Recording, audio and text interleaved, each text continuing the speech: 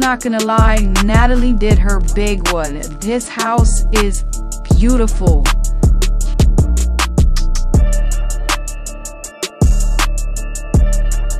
Welcome home, bitches.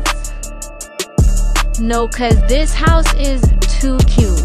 Natalie definitely did her big one with This link ass bitch Natalie Liddy puts us all in one room and fucking twin beds, bunk beds at that. I know some of the girls weren't gonna like the sleeping setup at this house, but we're literally here for one night and we're out in the morning. So I didn't think it was that big of a deal.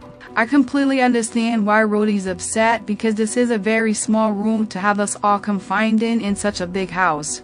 Natalie knew what she was doing. I'm really trying to figure the fuck out where Natalie got me fucked up at.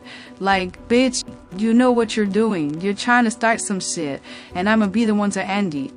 It's